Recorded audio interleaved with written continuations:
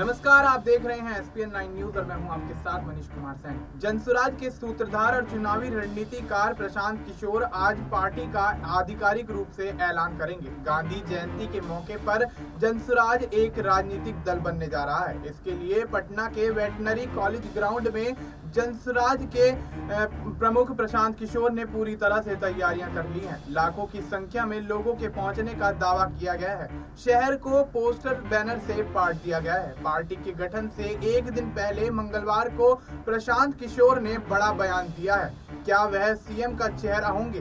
क्या चुनाव लड़ेंगे? इस पर पूरी तरह से प्रशांत किशोर बोलते हुए नज़र आए। एक इंटरव्यू में प्रशांत किशोर ने मंगलवार को कहा कि शारीरिक और मानसिक रूप से स्वस्थ नहीं होने के बावजूद मुख्यमंत्री नीतीश कुमार का समर्थन करने के लिए बिहार में भारतीय जनता पार्टी का वही हश्र होगा, जो लालू प्रसाद को जंगल राज लागू करने में मदद करने के लिए कांग्रेस का हुआ था। उन्होंने कहा कि बिहार अगले साल होने वाले विधानसभा चुनाव में बदलाव के लिए तैयार है। राज्य में कई राजनीतिक पार्टियों की मौजूदगी के बीच अपनी नई पार्टी के भविष्य को लेकर किए जा रहे सवालों को खारिज कर दिया।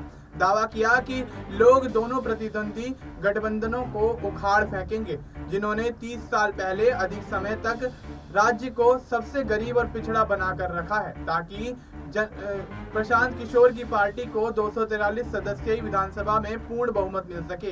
यह पूछे जाने पर कि क्या वह चुनाव लड़ेंगे या पार्टी की ओर से मुख्यमंत्री का पद का चेहरा बनेंगे? तो प्रशांत किशोर कहते हुए नज़र आए कि यह उन पार्टी के नेताओं को तय करना है।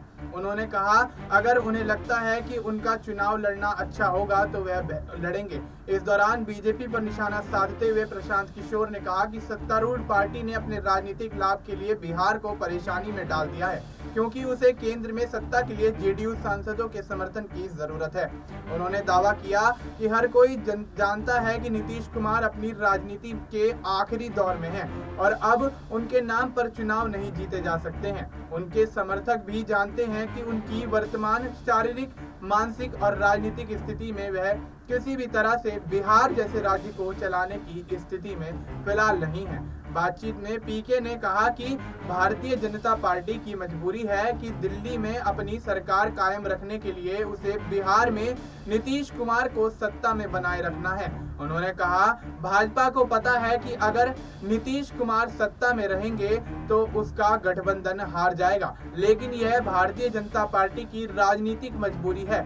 बिहार के सबसे लंबे समय तक मुख्यमंत्री रहने वाले नीतीश कुमार के शारीरिक और मानसिक रूप से स्वस्थ नहीं होने के, उनके दावे के बारे में पूछे जाने पर प्रशांत किशोर ने राज्य के कई ज्वलंत मुद्दों पर सीएम की चुप्पी का हवाला तक दे दिया।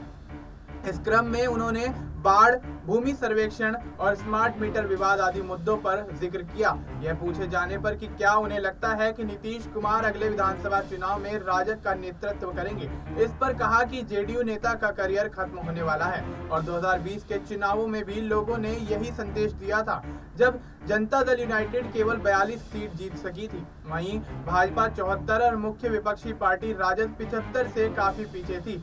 उन्होंने दावा किया कि उनकी पार्टी को पूर्ण बहुमत मिलेगा और वह किसी अन्य गठबंधन से हाथ नहीं मिलाएगी। अब ऐसे में प्रशांत किशोर जिस तरह से तमाम दावे करते हुए नज़र आ रहे हैं और एनडीए और इंडिया गठबंधन को कड़ी चुनौती देते हुए नज़र आ रहे हैं तो अब उनके दावों में कितना दम है, ये देखने के लिए आगे बिहार विधानसभा चुनाव पर हमारी नज़र लगातार बनी रहेगी। फ़िलहाल आपको इस मुद्दे पर क्या कुछ लगता है, आप अपनी राय हमें कमेंट करके बता सकते हैं। बाकी देश और दुनिया से जुड़ी तमाम जानकारी के लिए आप देखते रहिए